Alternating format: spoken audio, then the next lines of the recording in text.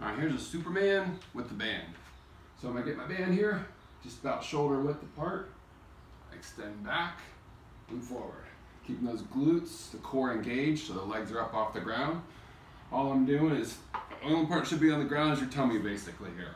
And so, come back with the band, forward, back, forward, back, forward. That's a Superman with the band.